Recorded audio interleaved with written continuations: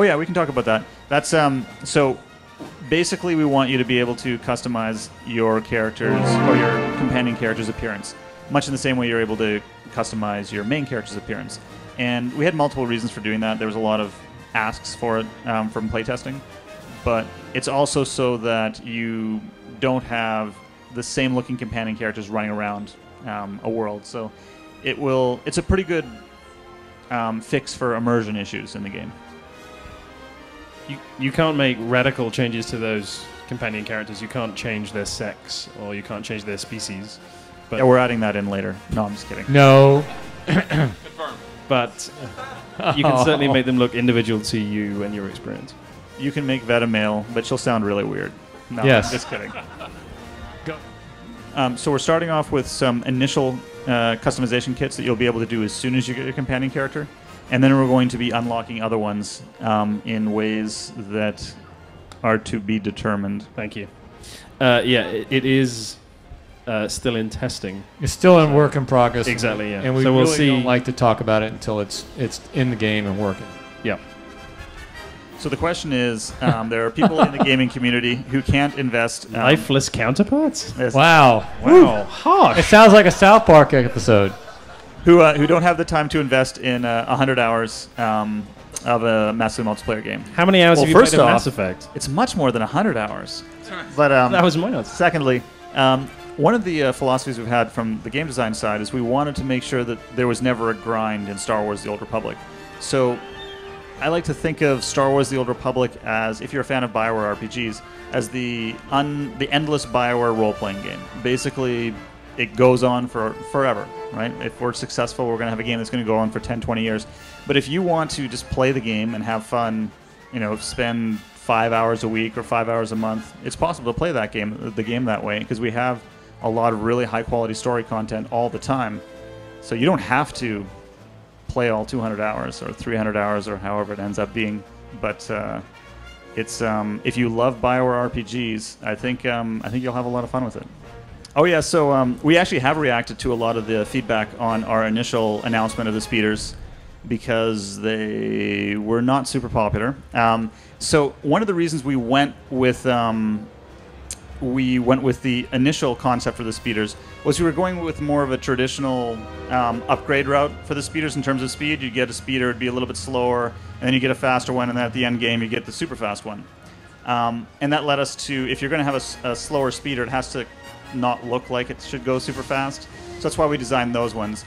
But after a little bit of thought and reacting to what fans were saying, we were like, ah, you know, screw it. This is Star Wars. We should be giving out really fast speeders as soon as a player gets them. And so we went back to the drawing board and uh, started adding speeder bikes. And then we were thinking land speeders. Um, so we started doing some concepts for that. And because we were worried about clipping issues and how it would look, but we did some experiments. And actually, land speeders looked really good in the game. So we put those in too. And now we have a whole bunch. We have the art team just churning out new speeder bike models and new um, land speeder models. And um, I think people will be pretty happy. Yeah, I think you will be happy what you see.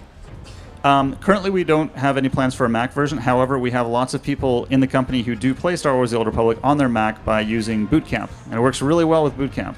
Um, currently, we have certain races associated with the Imperial side and certain races uh, associated with the Republic side.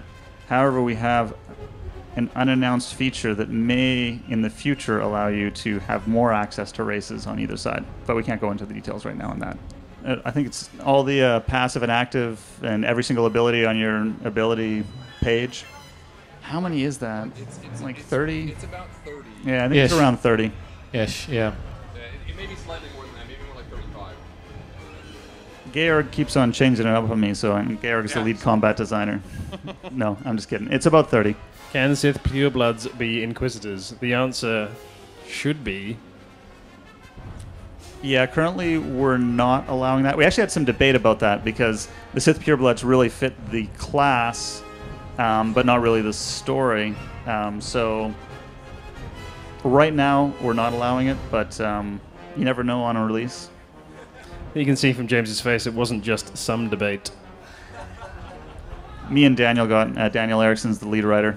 We got in a fist fight, and he beat me up, and so I had to take it out. No, Can you be a wizard? Actually, actually, you can be a wizard in some ways. Originally, the Jedi Consular was called the Jedi Wizard. Um, so If you choose to call yourself a wizard, even Yes. though you're a Consular, You, you can do that as a Consular. Yep, that's it. We did have some ideas about that, but we decided to not do that because it would kind of um, it will it would supersede our, our whole equipment system, um, and we didn't want to do that. We wanted you to have to use the the equipment system to determine how you looked. So if you want to look a certain way, you're going to have to make sacrifices in combat abilities. So, for example, if you're going to wear the slave Leia, you know, metal bikini, you're not going to be so good in combat. Um, hot pants. there may be some models that one could potentially describe as that. I wouldn't call them that in game. Like Corellian hot pants, I don't think is a, is a feature we're adding.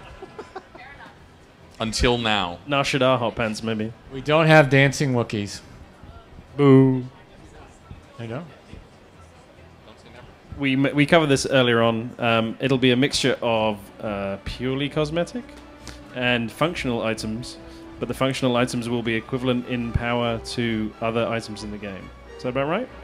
And we also mentioned that the uh, the actual location where you'll you'll get the store is like an exclusive location in the game that only people who have access. Yeah, the can go to. VIP, uh, VIP section. So that is something that we have in our design plans, but most likely it's not going to be in for ship. That's something that will, yeah, a post ship feature.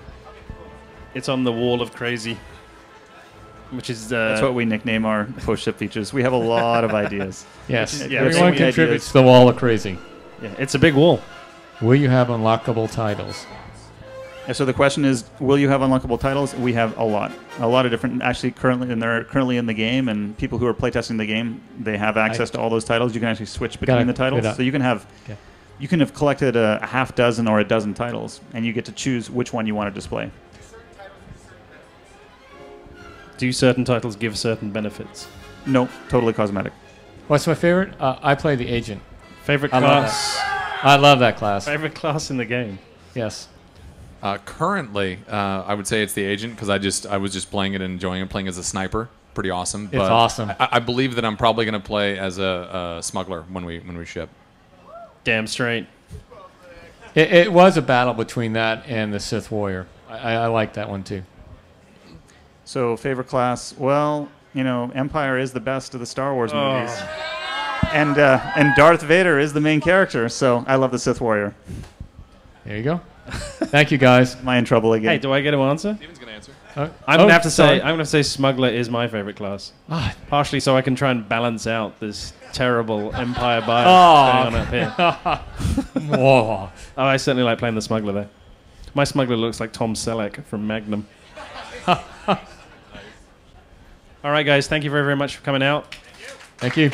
We're going to do this again a couple of times uh, during Comic Con, so feel free to come back. And remember that we're playing PvP all day uh, right here. So come on back and, uh, and play.